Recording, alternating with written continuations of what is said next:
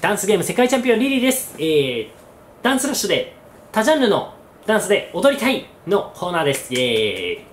はい、えー、今回はワック防具編ということで、まあ、これは私もこちょこ入れたりはしているジャンルの方になるので、結構詳しくは話せる方になるんですが、まあまあ基本的なことということでやっていきたいと思います。まずこちらのジャンルは歴史は深いんですけど、まあディスコ系から最近の EDM まで全然全然カバーできるジャンルだと思っていますし、そもそも、えっ、ー、と、なんか上半身とかがメインで手とかが派手だったりしますから、まあまあ、あの足バタバタしてる中とかだったりしても細かい音取りができる、結構まあ理想のえー、ジャンルの一つになってくるかなと思います。音楽性としては、えっ、ー、と、まあ、このジャンルがすごく相性いいかは別として、その EDM で踊っている動画とかがすごい多いと思います。というのは、ワックって結構2010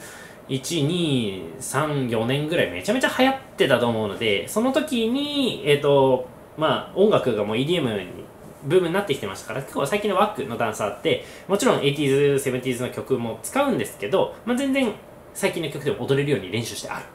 ということから、資料がすごく見つかりやすいと思います。ので、えー、っと、そこの部分と強いダンスの音取りとかをしっかり考えてやってもらうといいと思います。で、まあ、そうですね、おすすめの動きっていうものは特にないですが、まあ、ワック、防具に関してはこの辺でこう、回したりする系のこととかは、あの、ダウン判定が自動的に取れますから、あんまり、あの、深いこと考えずにやってもらったらいいかなって思いますのと、えっ、と、防具っすね。防具は結構、スンってこう、防具立ちしてパッパッパッパってやって、足そもそも一歩も動いてないじゃんっていうことが多いと思うので、それに関しては、もし防具でマジで、そのランニングワンレベルで踊りたいなってなるんだったら、ちょっと、オールドですけど、ダックウォークを真剣にやってもらって、ダックウォークで足は浮かさずちゃんとと引きずり、いや、浮かすんで浮かして、ランニングマン取れるまで2段階取れるまでしっかり引きずる。多分もっと辛くなるだろうね。でもそれでラックウォークを、あの、自然な顔でやるっていうのがまたこの防具のさ、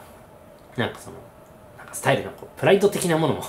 なんかあるじゃん。だから、そのラックウォークで2段階のランニングマン取れるんだったら結構いい感じになるんじゃないでしょうかと私は思っています。ただ僕は結構ラックウォーク嫌いなので、あとゲーセンでちょっと浮きそうだから やりたくないはい。なので、えっ、ー、と、まあ、ワック、ジャズの人、違う違う、ワック、防具の人は、えっと、ジャズファンクの延長みたいな方の動画とフリッと練習の方を入れて、そのまま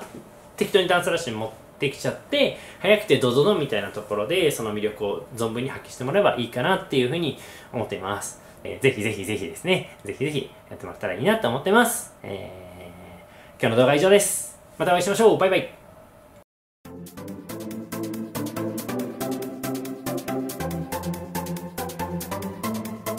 今回の動画はいかがでしたか？